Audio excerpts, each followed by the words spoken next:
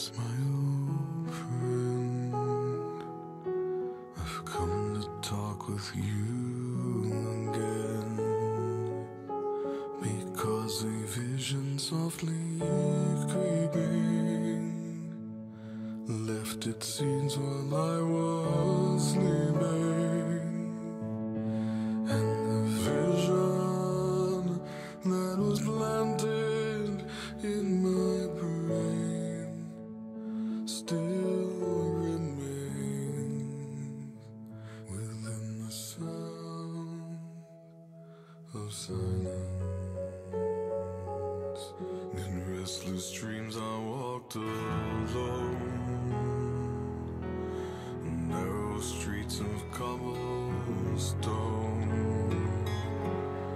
Neath the halo of a street lamp, I turned my collar to the cold and damp.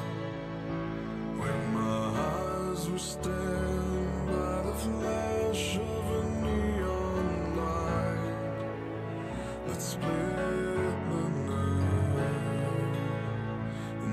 the sound of silence.